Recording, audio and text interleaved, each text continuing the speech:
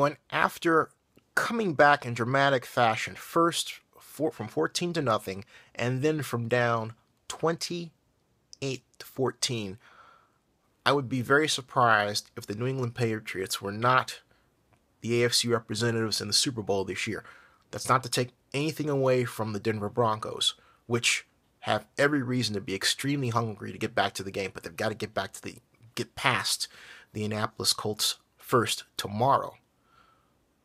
And I'm a big, big, big Peyton Manning fan, so I hope I'm wrong.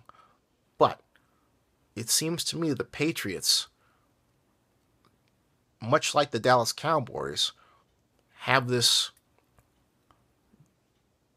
excellent way of game planning them their way out of deficits.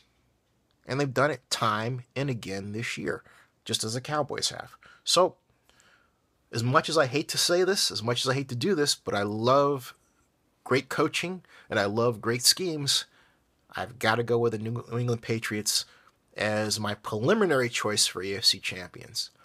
Let's see what happens.